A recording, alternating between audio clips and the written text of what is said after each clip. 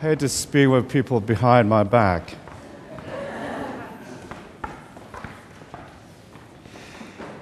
Good morning. It is wonderful to be here with you this morning in this beautiful village of Warwick. Uh, as we were driving up through 17, Route 17, up the mountain and down the mountain, my wife Clara kept saying, Well, where on earth are we going? this is different. yeah, it's just different from Manhattan, all right. but it's beautiful. Uh, we're def- we're really delighted to be here with you. They say, they say wherever Bishop goes, he brings the entire diocese with him. And I bring greetings from the rest of the diocese, other 198 congregations all over the place, from Staten Island all the way up to Tivoli and Saugerties, from, from um, the Connecticut border all the way out to Pennsylvania border. It's a huge geographic area to cover. But you are right in the middle, it's actually pretty much the center, I think, almost, uh, just looking at the, um, the area, the ge- geography of the diocese, um, tucked away in the, in the bottom of the, of the, of the mountains. And uh, um, a little gem to discover, uh, in fact. So great to be here with you. Um,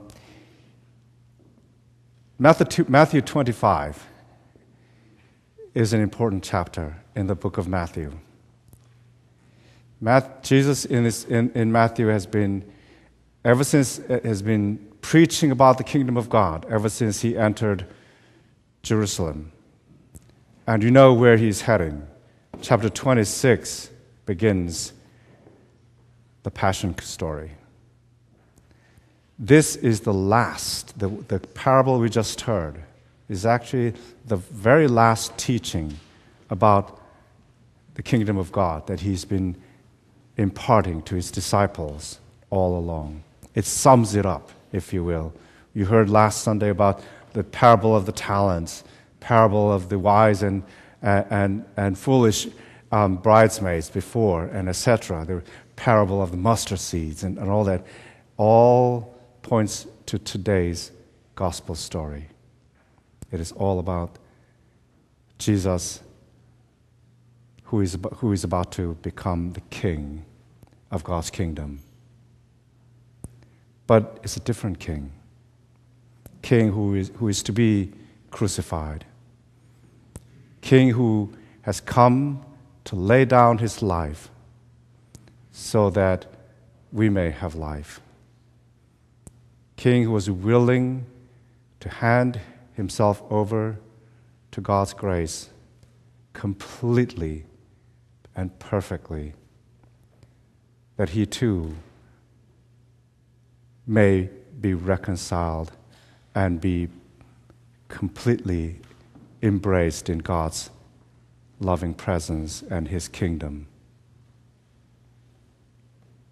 But it is not just about Jesus way up there who is so remote.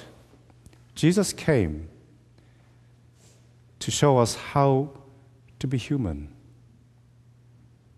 He came and lived the life of human life so that how we can live together.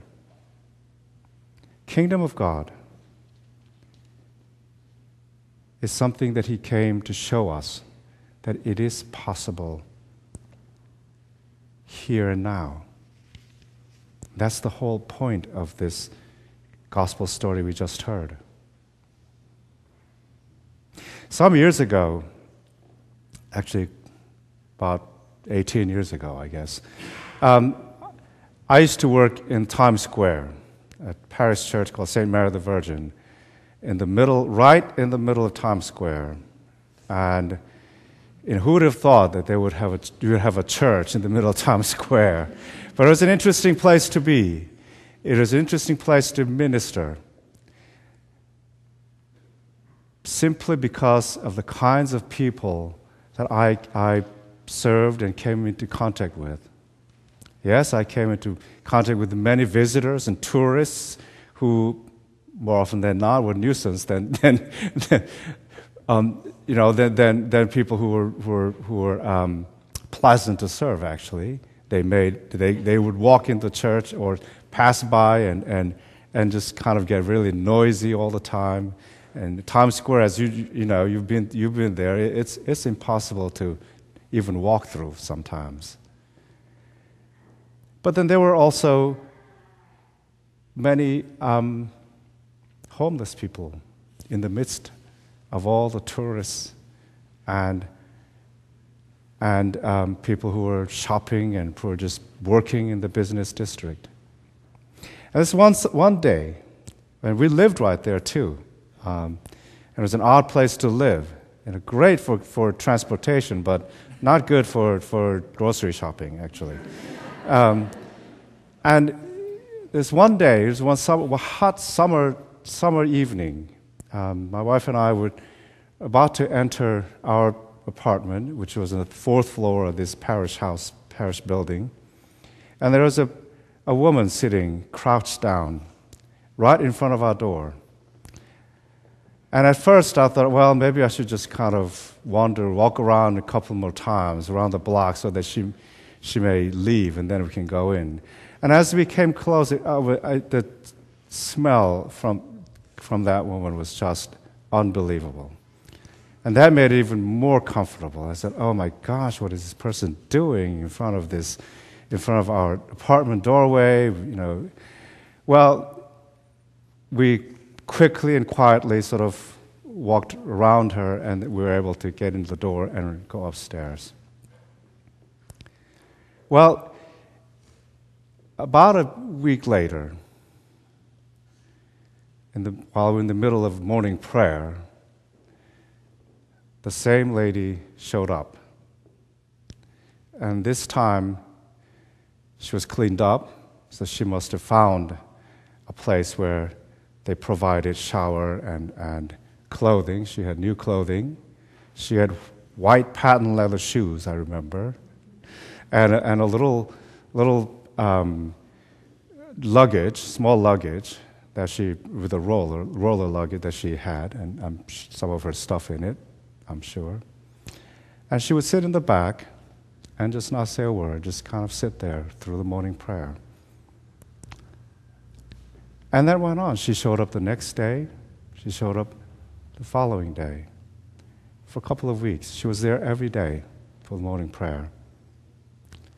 Finally, I mustered up enough courage to go up and say, Hi, how are you?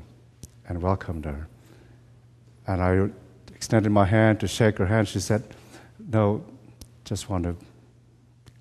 She didn't want to shake my hands, but she said, I just came to pray because I love this church.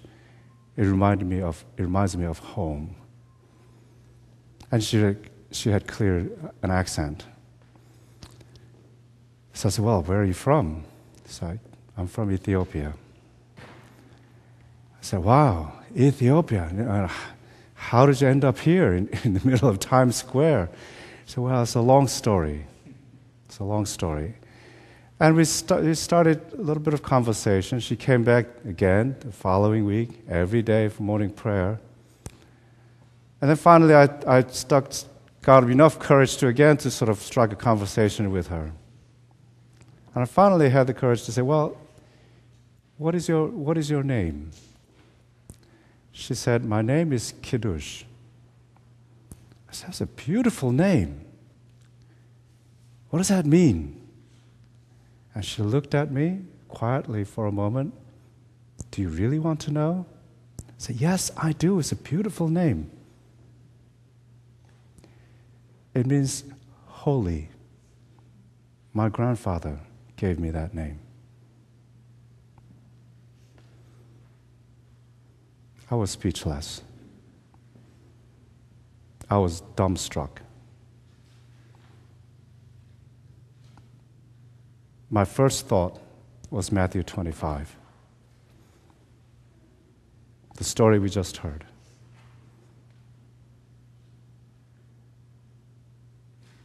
I was in the presence of Jesus and I didn't know. And then I remember a baptismal covenant how I was called to see, seek and serve Christ in all persons. See, you never know when and where you will encounter Christ.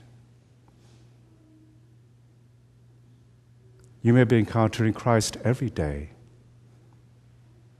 every moment of your life, and you just don't know. I learned a lesson. I learned a lesson of what it means to seek and serve Christ in every person.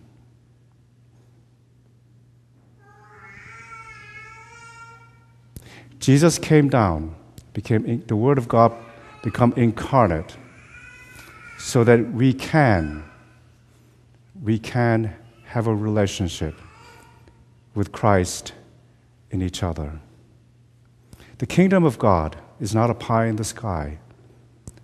Kingdom of God comes to us through community because we are constantly in a relationship with God and with Jesus through one another. That is what Christ, that is what Jesus is saying today. When did I visit you in the prison? When did I give you food, a drink of water? When you do to that to one another, you do it to me. If you cannot explain and understand the theology of the incarnation, this is it. Just tell that story. That is the incarnation. It is because of that that we, it is possible for us to be empathetic to each other, to, be, to show empathy toward each other because Jesus Christ showed us the way. They say technically and philosophically, empathy is humanly impossible to enter into somebody else's emotions and feelings, somebody else's, what somebody else is truly going through. Empathy. Only God can do that. Yes, only God can do that. But God in Christ, God in Jesus, was able to do that so that we, through Him, can also do the same. What we celebrate today, the feast of Christ the King, is we're celebrating the King who was crucified and laid down his life for our salvation, for the salvation of the world, to show us how we can live together in common humanity. The kingdom of God calls us to that common destiny that we all share. So we have work to do as Christians. The work that's been given to us is to seek and serve Christ in other people. Sometimes it's hard, sometimes you don't always remember. But that is our baptismal covenant that is our mission.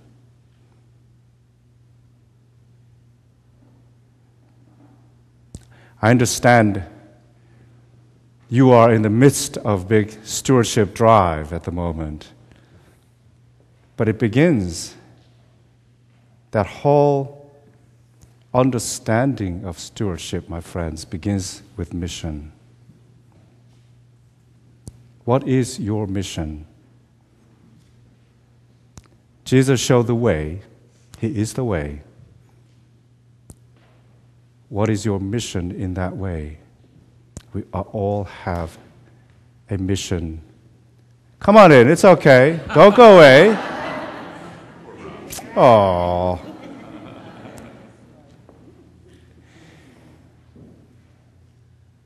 That's the important question that you all must ask yourself. as you give your commitment and your pledge to the work of this community, it begins with your personal mission.